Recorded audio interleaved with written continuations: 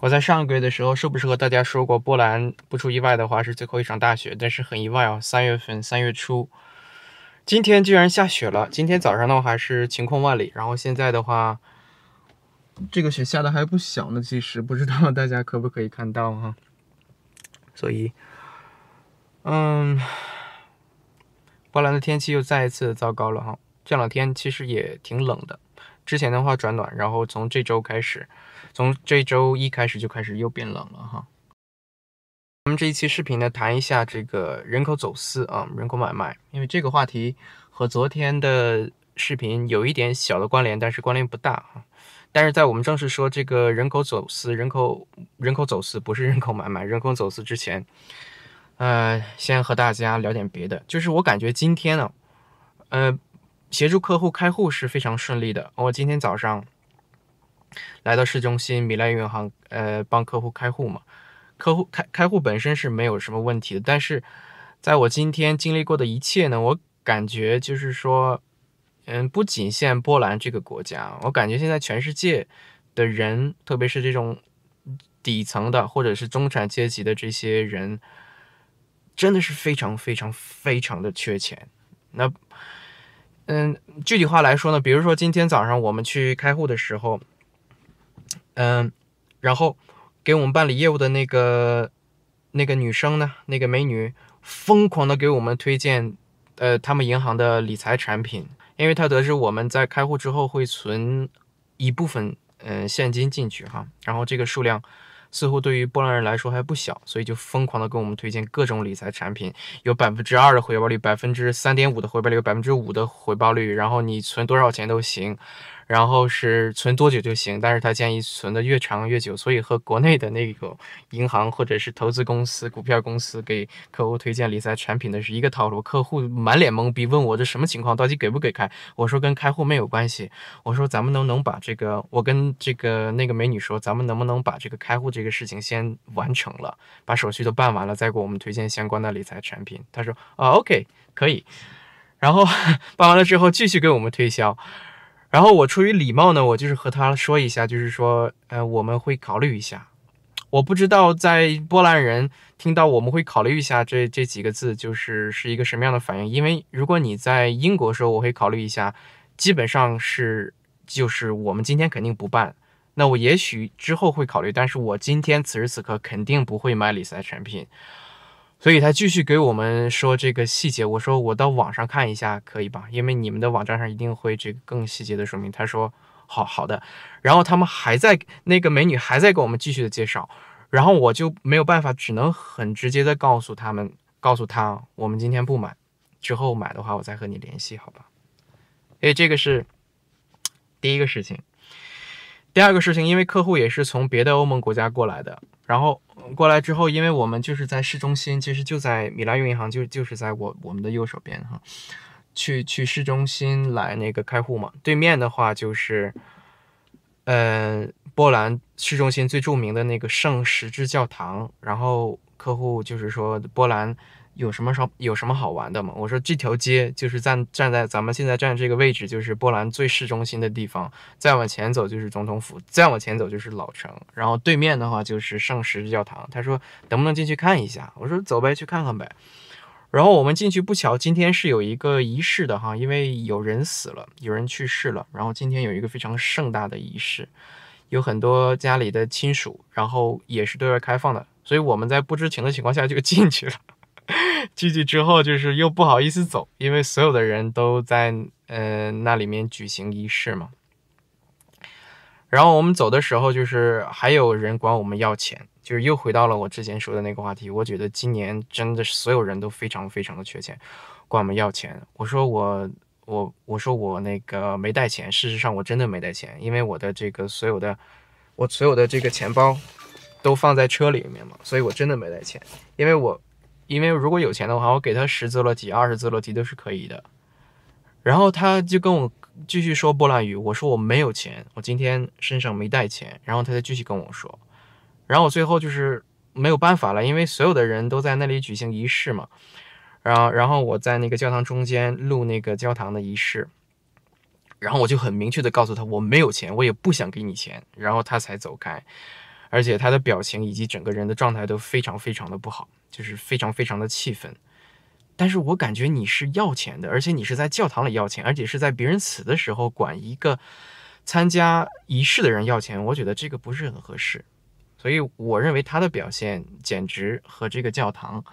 和和和这个人类不符合人类正常的一个行为，因为中国人都没有这么要钱的。如果你在中国是要饭的话，你最好低调一些，因为他这种行为在中国有可能被打。当然的话，我们在波兰很显然是不能这么做的。然后从教堂出来，嗯，我就是看另外一个男的。他俩，因为之前管我要钱的那个是女的嘛，他俩应该是夫妻，或者是有有着某种关系哈，就整个人都趴在了地上，然后管那个出来的人要钱。我给钱的人也有，但是大多数大多数人都是默默的走开了，所以。嗯，波兰波兰教堂里出现这个行为呢，我真的是其实不能够接受哈，因为我在英国也去教堂，然后这个教堂是 Catholic 教堂，我在英国去的也是 Catholic，英国这种情况我从来没有遇见过，就从来一次都没有。波兰，而且我们去的这个是应该是最市中心，然后也比较大、比较隆重的一个教堂，我不知道为什么会有这种事情发生，是否和疫情相关，还是？还是和这个疫情无关，之前就是有这种情况发生。所以收看节目的朋友，如果你们在东欧地区，或者是你们在波兰，平时有去教堂的习惯的话，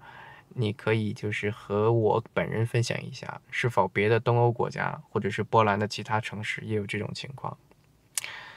也真的是非常出乎我的意料。缺钱，其实每个人。在今年都是有这种情况发生的，因为二零二一年的疫情，二零二零年的疫情打乱了所有人的计划，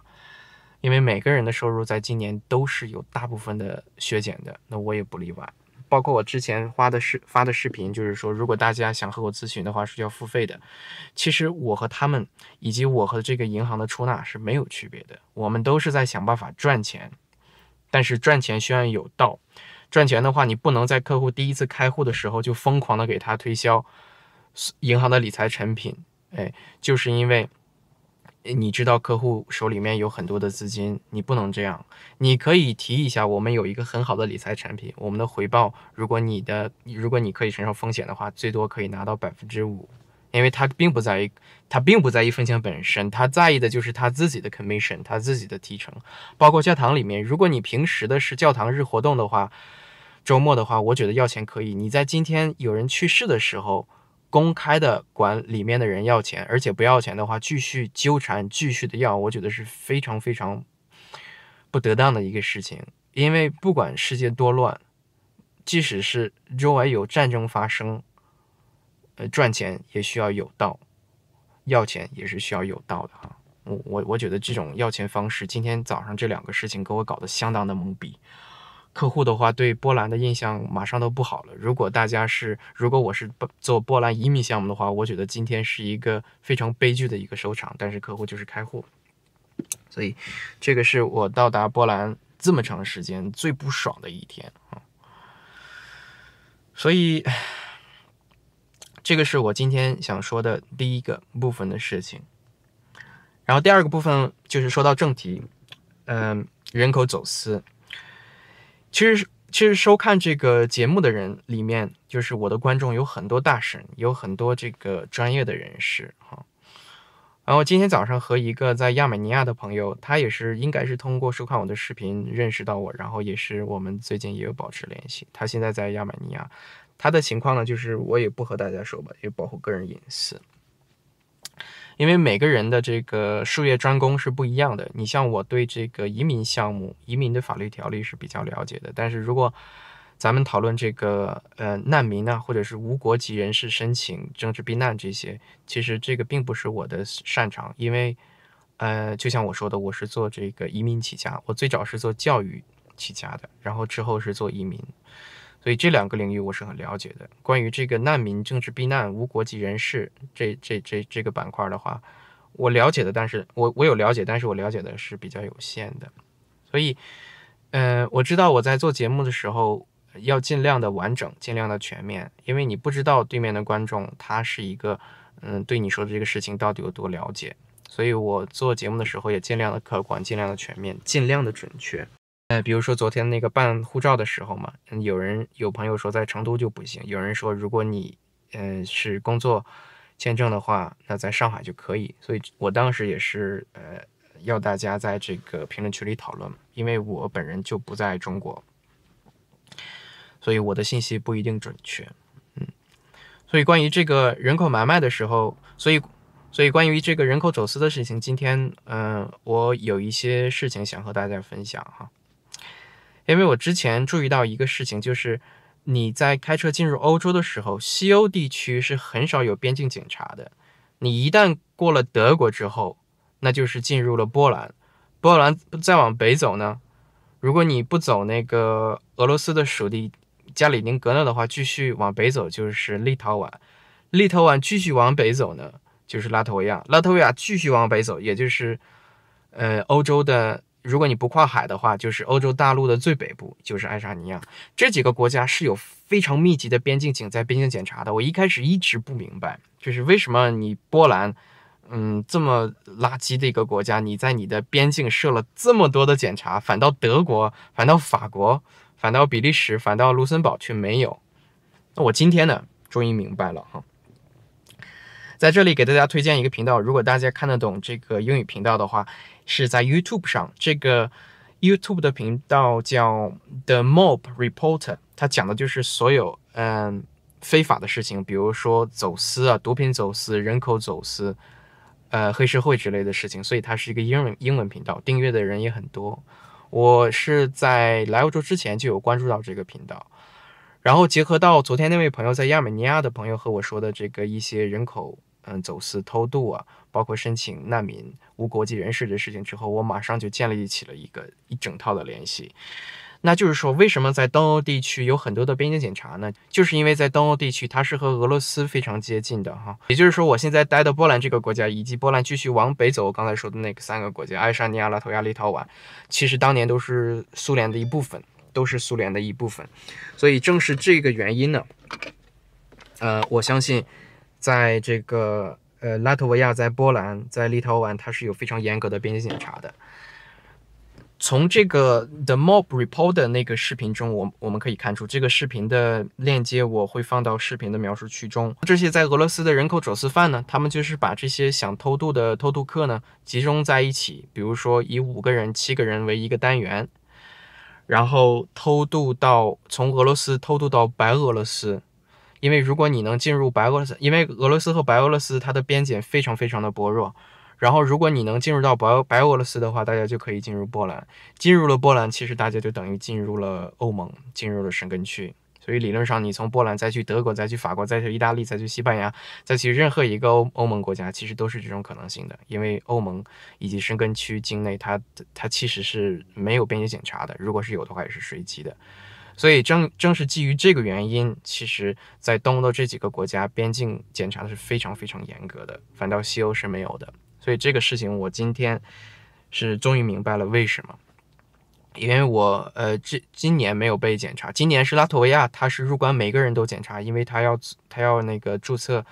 那个健康码，注册 COVID 的那个健康码，不然的话，我今年是等于没有被查的。但是去年我有被波兰的海关、波兰波兰的边境警察。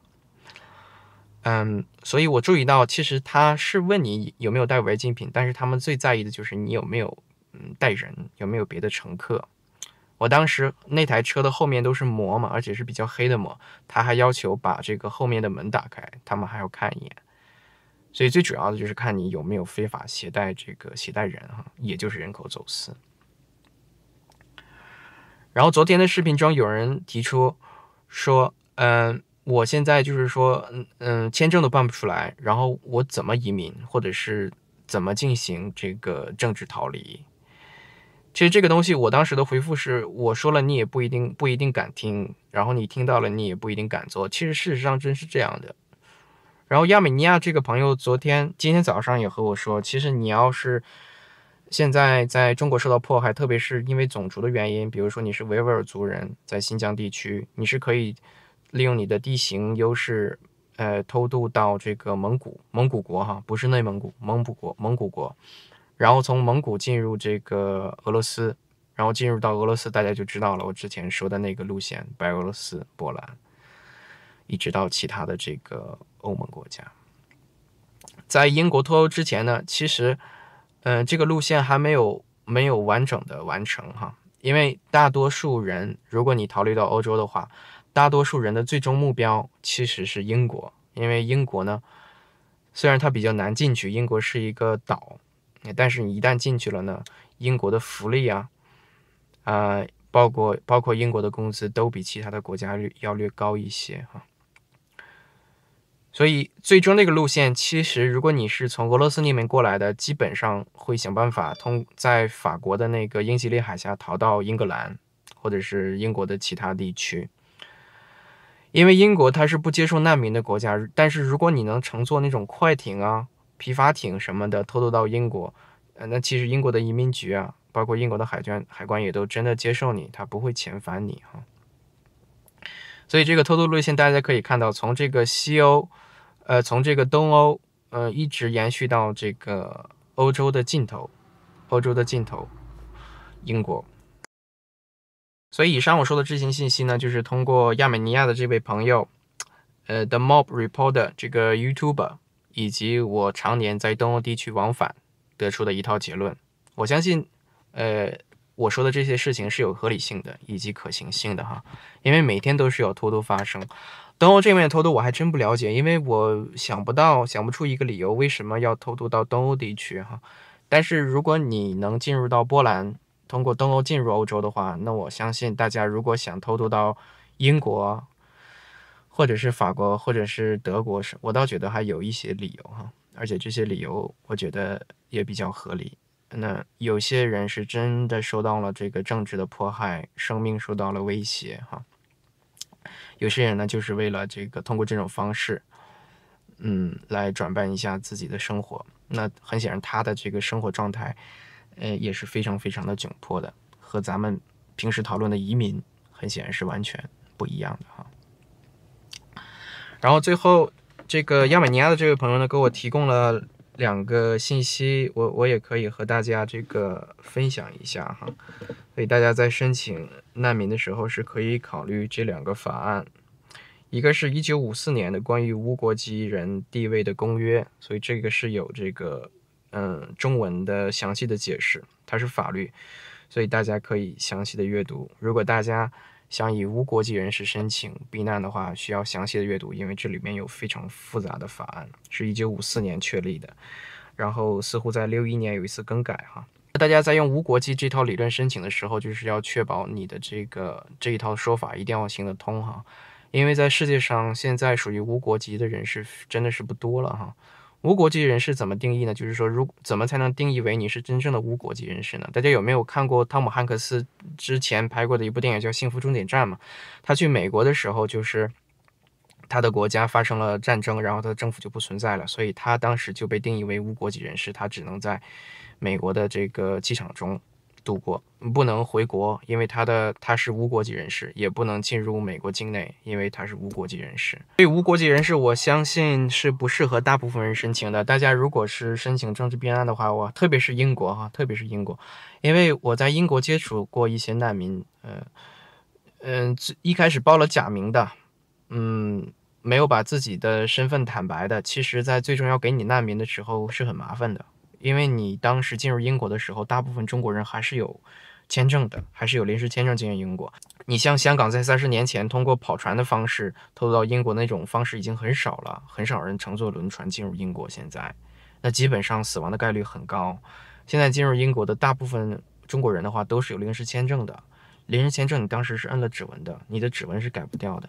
所以大家在用无国籍人士申请这个难民的时候，或者是政治避难，一开始是可行的，最终，嗯，给你身份的时候是非常非常麻烦的事情，因为你既不能承认又不能否认，因为如果你承认的话，那就说明你之前之前撒谎了，那政府有可能会撤回给你的这个非常宝贵的身份；如果你否认的话，那你的身份又不确定，所以政府呢也给不了你这个身份。然后你还得继续的编故事，所以所以别的国家我不确定哈。如果是英国的话，大家尽量使用使使用自己真实的身份哈，也就是作为有国际人士申请政治避难。如果是这种情况的话，大家是需要参考一九五一年的政治庇护法案。然后这两个法案也是亚美尼亚的这位朋友今天早上告诉我的哈，所以非常感谢这位朋友。我不会对一九五四年的无国籍人士法案以及五一年的政治庇护法案做非常详细的研究，因为这个不是我的专业领域。但是大家如果想通过这两个方式，申请政治庇护、避难的话，嗯，大家需要这个熟悉的掌握这个这两个法律条例哈。Can't can't speak Polish. I'm very sorry. For one money, na baby. Please. No money for you. Sorry. Give me for one euro, na baby. Please, please. My friend, give me for I have one no money for you. I'm sorry. I said that already.